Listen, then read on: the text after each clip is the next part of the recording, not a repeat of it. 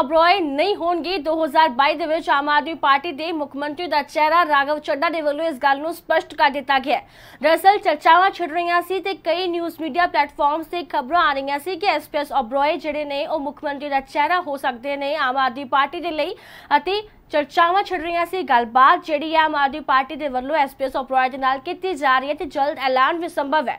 ਪਰ ਰਾਘਵ ਚੱਡਾ ਦੇ ਵੱਲੋਂ ਹੁਣ ਟਵੀਟ ਕਰਦਿਆਂ ਹੋਇਆਂ ਇਹ ਸਾਫ਼ ਕਰ ਦਿੱਤਾ ਗਿਆ ਕਿ ਐਸਪੀਐਸ ਅਪਰੋਏ ਦੇ ਨਾਲ ਨਾ ਤਾਂ ਕੋਈ ਗੱਲਬਾਤ ਕੀਤੀ ਗਈ ਹੈ ਅਤੇ ਨਾ ਹੀ ਕੋਈ ਅਹੁਦਾ ਜਾਂ ਟਿਕਟ ਦੇਣ ਦੀ ਗੱਲ ਹੋਈ ਹੈ ਤੇ ਨਾ ਹੀ ਕੋਈ ਮੁਲਾਕਾਤ ਹੋਈ ਹੈ। ਅਜਿਹੀਆਂ ਖਬਰਾਂ ਜਿਹੜੀਆਂ ਨੇ ਝੂਠੀਆਂ ਨੇ ਤੇ ਅਜਿਹੀਆਂ ਖਬਰਾਂ ਦੇ ਵਿੱਚ ਕੋਈ ਵੀ ਸੱਚਾਈ ਨਹੀਂ ਹੈ। ਇਹਨਾਂ ਦੇ ਖਿਲਾਫ ਕਾਰਵਾਈ ਹੋਣੀ ਚਾਹੀਦੀ ਹੈ। ਰਾਘਵ ਚੱਡਾ ਦੇ ਵੱਲੋਂ ਟਵੀਟ ਕਰਕੇ ਇਸ ਗੱਲ ਨੂੰ ਸਾਫ਼ ਕਰ ਦਿੱਤਾ ਗਿਆ ਹੈ। ਰਾਘਵ ਚੱਡਾ ਨੇ ਆਪਣੇ ਟਵੀਟ ਦੇ ਵਿੱਚ ਕੀ ਕੁਝ ਲਿਖਿਆ ਇੱਕ ਵਾਰ ਤੁਹਾਨੂੰ ਦੱਸ ਦਿਆ ਕਿ ਆਪਣੇ ਟਵੀਟ ਵਿੱਚ ਰਾਘਵ ਚੱਡਾ ਨੇ ਕੀ ਲਿਖਿਆ ਰਾਘਵ ਚੱਡਾ ਦੇ ਵੱਲੋਂ ਸਾਫ਼ ਤੌਰ ਤੇ ਕਹਿ ਦਿੱਤਾ ਗਿਆ ਹੈ ਕਿ ਮੈਂ ਇਹ ਗੱਲ ਸਾਫ਼ ਕਰ ਦੇਣਾ ਚਾਹੁੰਦਾ ਕਿ ਇਹ ਖਬਰ ਸਰਾਸਰ ਗਲਤ ਹੈ। ਇਸ ਦੇ ਵਿੱਚ ਕੋਈ ਵੀ ਸੱਚਾਈ ਨਹੀਂ ਹੈ। ਅਜਿਹੀਆਂ ਝੂਠੀਆਂ ਖਬਰਾਂ ਖਿਲਾਫ ਕਾਰਵਾਈ ਹੋਣੀ ਚਾਹੀਦੀ ਹੈ। ਨਾ ਤਾਂ ਮੈਂ ਕਦੇ ਇਹਨਾਂ ਦੇ ਨਾਲ ਕੋਈ ਗੱਲ ਕੀਤੀ ਹੈ ਤੇ ਨਾ ਹੀ ਕਦੇ ਮੈਂ ਇਹਨਾਂ ਨੂੰ ਮਿਲਿਆ ਹਾਂ ਤੇ ਨਾ ਹੀ ਕਦੇ ਕੋਈ ਟਿਕਟ ਜਾਂ ਅਹੁਦਾ ਆਫਰ ਕੀਤਾ ਹੈ। ਸੋ ਰਾਘਵ ਚੱਡਾ ਨੇ ਟਵੀਟ ਕਰਕੇ ਸਪਸ਼ਟ ਕਰ ਦਿੱਤਾ ਹੈ ਕਿ ਐਸਪੀਐਸ ਅਬਰੋਏ ਜਿਹੜੇ ਨੇ ਉਹ ਮੁੱਖ ਮੰਤਰੀ ਦਾ ਚਿਹਰਾ ਨਹੀਂ ਹੋਣਗੇ। ਉਹਨਾਂ ਦੇ ਨਾਲ ਕੋਈ ਗੱਲਬਾਤ ਜਿਹੜੀ ਹੈ ਉਹ ਨਹੀਂ ਕੀਤੀ ਗਈ ਹੈ। ਜੇਕਰ ਜ਼ਿਕਰ ਕਰੀਏ ਸੁਖਪਾਲ ਸਿੰਘ ਖਹਿਰਾ ਦਾ, ਤਾਂ ਉਹਨਾਂ ਦੇ ਵੱਲੋਂ ਟਵੀਟ ਕਰਦਿਆਂ ਹੋਇਆਂ ਇਹ ਸਵਾਲ ਚੁੱਕਿਆ ਗਿਆ ਸੀ। ਪਹਿਲਾਂ ਉਹਨਾਂ ਨੇ ਇੱਕ ਟਵੀਟ ਦੇ ਦੌਰਾਨ ਇਹ ਗੱਲ ਆਖੀ ਸੀ ਕਿ ਮੁੱਖ ਮੰਤਰੀ ਅਰਵਿੰਦ ਕੇਜਰੀਵਾਲ ਜੋ ਦਿੱਲੀ ਦੇ ਮੁੱਖ ਮੰਤਰੀ ਨੇ, ਉਹਨਾਂ ਦੀ ਸਟੇਟਮੈਂਟ ਸੀ ਕਿ ਪੰਜਾਬ ਨੂੰ ਇੱਕ ਸਿੱਖ ਚਿਹਰਾ ਜਿਹੜਾ ਹੈ ਉਹ ਸੀਐਮ ਦੇ ਤੌਰ ਤੇ ਮਿਲੇਗਾ ਤੇ ਭਗਵੰਤ ਮਾਨ ਦੀ ਹਾਜ਼ਰੀ ਦੇ ਵਿੱਚ ਸੀਐਮ ਚਿਹਰਾ ਜਿਹੜਾ ਹੈ ਭਗ- ਪੰਜਾਬ ਨੂੰ ਮਿਲੇਗਾ ਸਿੱਖ ਚਿਹਰਾ। ਤੇ ਉਸ ਤੋਂ ਬਾਅਦ ਉਹਨਾਂ ਨੇ ਕਿਹਾ ਕਿ ਫਿਰ ਦੁਬਾਰਾ ਉਹੀ ਕੋਸ਼ਿਸ਼ਾਂ ਕੀਤੀਆਂ ਜਾ ਰਹੀਆਂ ਨੇ। ਲੱਗਦਾ ਹੈ ਕਿ ਦਿੱਲੀ ਦੇ ਮੁੱਖ ਮੰਤਰੀ ਅਰਵਿੰਦ ਕੇਜਰੀਵਾਲ ਨੂੰ ਆਪਣੀ ਜੋ ਲੀਡਰਸ਼ਿਪ ਹੈ, ਜਿਹੜੀ ਸੂਬੇ ਦੀ ਲੀਡਰਸ਼ਿਪ ਹੈ, ਉਸ ਤੇ ਭਰੋਸਾ ਨਹੀਂ ਹੈ।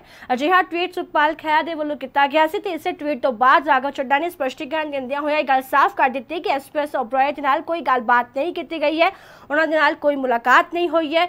ਕੋਈ ਟਿਕਟ ਜਾਂ ਕੋਈ ਅਹੁਦਾ ਦੇਣ ਦੀ ਆਫਰ ਜਿਹੜੀ ਹੈ ਐਸਪੀਐਸ ਓਬਰਾਏ ਨੂੰ ਨਹੀਂ ਦਿੱਤੀ ਗਈ ਹੈ। ਲਗਾਤਾਰ ਚਰਚਾਵਾਂ ਸੀ ਕੁਝ ਦਿਨਾਂ ਤੋਂ ਤੇ ਕਈ ਥਾਵਾਂ ਤੇ ਖਬਰਾਂ ਵੀ ਚੱਲ ਰਹੀਆਂ ਸੀ ਕਿ ਐਸਪੀਐਸ ਓਬਰਾਏ ਜਿਹੜੇ ਨੇ ਮੁੱਖ ਮੰਤਰੀ ਦਾ ਚਿਹਰਾ ਹੋ ਸਕਦੇ ਨੇ। ਆਮ ਆਦਮੀ ਪਾਰਟੀ ਦੇ 2022 ਦੀ ਚੋਣਾਂ ਦੇ ਦੌਰਾਨ, ਪਰ ਹੁਣ ਇਸ ਗੱਲ ਦੇ ਉੱਤੇ ਰਾਘਵ ਚੱਡਾ ਨੇ ਲਗਾਮ ਲਗਾ ਦਿੱਤਾ ਹੈ।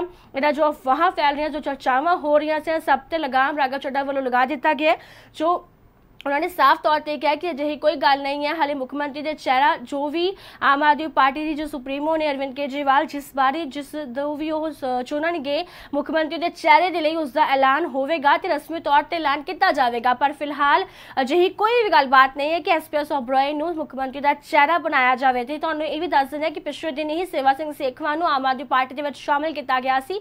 ਉੱਥੇ ਵੀ ਚਰਚਾਵਾਂ ਇਹ ਛਿੜੀਆਂ ਸੀ ਕਿ ਉੱਥੇ ਮੁੱਖ ਮੰਤਰੀ ਦੇ ਚਿਹਰੇ ਦਾ ਐਲਾਨ ਅਰਵਿੰਦ ਕੇਜਰੀਵਾਲ ਕਰ ਸਕਦੇ ਨੇ ਕਿਉਂਕਿ ਪੰਜਾਬ ਪਹੁੰਚੇ ਸੀ ਬੀਤੇ ਦਿਨ ਅਰਵਿੰਦ ਕੇਜਰੀਵਾਲ ਤਾਂ ਹਰ ਪਾਸੇ ਗੱਲ ਉੱਠ ਰਹੀ ਸੀ ਕਿ ਅੱਜ ਮੁੱਖ ਮੰਤਰੀ ਦੇ ਚਿਹਰੇ ਦਾ ਐਲਾਨ ਵੀ ਅਰਵਿੰਦ ਕੇਜਰੀਵਾਲ ਕਰ ਸਕਦੇ ਨੇ ਕਿਉਂਕਿ ਚੋਣਾਂ ਵਿੱਚ ਸਮਾਂ ਬਹੁਤ ਘੱਟ ਰਹਿ ਚੁੱਕਿਆ, ਪਰ ਮੁੱਖ ਮੰਤਰੀ ਦੇ ਵੱਲੋਂ ਉੱਥੇ ਕੋਈ ਚਿਹਰੇ ਦਾ ਐਲਾਨ ਤਾਂ ਨਹੀਂ ਕੀਤਾ ਗਿਆ। ਸਿਰਫ ਸੇਵਾ ਸਿੰਘ ਸੇਖਵਾਂ ਤੇ ਉਹਨਾਂ ਦੇ ਪੁੱਤ ਜਗਰੂਪ ਸਿੰਘ ਸੇਖਵਾਂ ਨੂੰ ਆਮ ਆਦਮੀ ਪਾਰਟੀ ਵਿੱਚ ਸ਼ਾਮਿਲ ਕੀਤਾ ਗਿਆ ਤੇ ਕਿਹਾ ਗਿਆ ਕਿ ਉਹਨਾਂ ਦੀ ਲੀਡਰਸ਼ਿਪ ਦੇ ਵਿੱਚ ਅਸੀਂ ਅੱਗੇ ਵਧਦੇ ਜਾਵਾਂਗੇ। ਉਸ ਦੌਰਾਨ ਵੀ ਰਾਘਵ ਚੱਡਾ ਭਗਵੰਤ ਮਾਨ, ਗੋਬਿੰਦ ਵਿਜੇ ਪ੍ਰਤਾਪ ਮੌਜੂਦ ਸੀ ਤੇ ਜਰਨੈਲ ਸਿੰਘ ਵੀ ਮੌਜੂਦ ਸੀ। ਉਹਨਾਂ ਸਭ ਦੀ ਹਾਜ਼ਰੀ ਵਿੱਚ ਸੇਵਾ ਸਿੰਘ ਸੇਖਵਾ ਨੂੰ ਆਮ ਆਦਮੀ ਪਾਰਟੀ ਵਿੱਚ ਸ਼ਾਮਿਲ ਕੀਤਾ ਗਿਆ ਸੀ ਤੇ ਕਿਹਾ ਗਿਆ ਸੀ ਲੀਡਰਸ਼ਿਪ ਨੂੰ ਹੋਰ ਮਜ਼ਬੂਤ ਕੀਤਾ ਜਾਵੇਗਾ। ਪਰ ਮੁੱਖ ਮੰਤਰੀ ਦੇ ਚਿਹਰੇ ਦਾ ਐਲਾਨ ਉਸ ਦੌਰਾਨ ਵੀ ਨਹੀਂ ਕੀਤਾ ਗਿਆ, ਪਰ ਉਸ ਤੋਂ ਪਹਿਲਾਂ ਜੇਕਰ ਝਾਤ ਮਾਰੇ, ਕੁਝ ਸਮਾਂ ਪਹਿਲਾਂ ਜਦੋਂ ਅਰਵਿੰਦ ਕੇਜਰੀਵਾਲ ਪੰਜਾਬ ਪਹੁੰਚੇ ਸੀ ਤਾਂ ਉਹਨਾਂ ਨੇ ਇਸ ਗੱਲ ਦਾ ਐਲਾਨ ਜ਼ਰੂਰ ਕੀਤਾ ਸੀ ਕਿ ਜਦੋਂ ਵੀ ਮੁੱਖ ਮੰਤਰੀ ਦੇ ਚਿਹਰੇ ਦਾ ਐਲਾਨ ਹੋਵੇਗਾ ਤਾਂ ਪੰਜਾਬ ਵਾਸੀਆਂ ਨੂੰ ਇਹ ਗੱਲ ਕਹਿ ਦੇਣਾ ਚਾਹੁੰਦੇ ਹਾਂ ਕਿ ਮੁੱਖ ਮੰਤਰੀ ਦਾ ਚਿਹਰਾ ਕੋਈ ਸਿੱਖ ਚਿਹਰਾ ਹੀ ਹੋਵੇਗਾ, ਜਿਸ ਨੂੰ ਮੁੱਖ ਮੰਤਰੀ ਦੇ ਚਿਹਰੇ ਦੇ ਤੌਰ ਤੇ ਆਮ ਆਦਮੀ ਪਾਰਟੀ 2022 ਦੀਆਂ ਚੋਣਾਂ ਵਿੱਚ ਉਤਾਰੇਗੀ। ਸੋ ਲਗਾਤਾਰ